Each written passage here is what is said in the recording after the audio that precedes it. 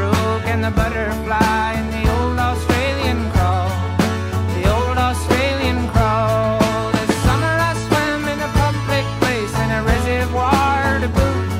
At the latter I was informal, at the former I was.